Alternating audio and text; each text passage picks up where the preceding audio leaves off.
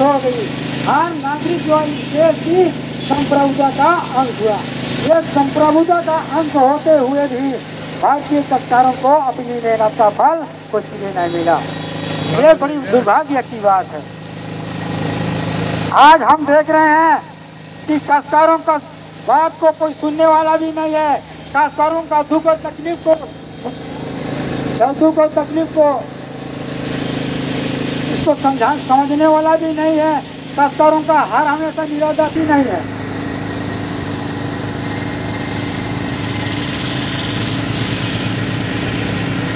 मानव धर्म को लेकर मानव धर्म की मंच के लेकर के आए हुए हैं। जी। क्या मांगे हैं आपकी? मानव धर्म के अधिकारों को मांगने के लिए हम लोग यहाँ एकत्रित हुए हैं। उपायुक्त महोदय को ज्ञापन सौंप रहे हैं। क्या उसमें मांगे? आपकी मुख्य मांगे क्या है?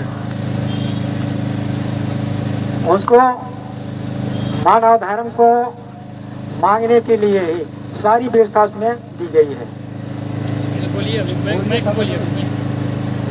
उसमें यही कहा गया है कि हम सभी बहुजोतक इतिहार कर जो हैं, ये परंपरा से प्रकृति के अधिकारों का प्रयोग करना ही हम लोग मानव धर्म मानते हैं। ये मानव धर्म मानने के बावजूद भी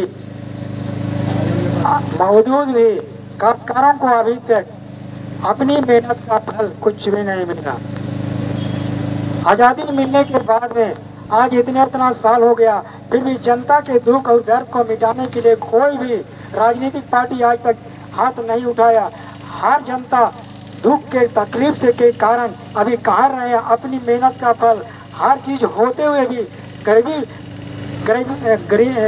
ग्रामीण जनता को अपनी मेहनत का फल कुछ भी नहीं मिला। क्या नाम हुआ आपका? हमारा चंद को मंडल घर? घर। क्या पद क्या है आपका इसमें? हम भूमि तक समूह के प्रत्याशी हैं।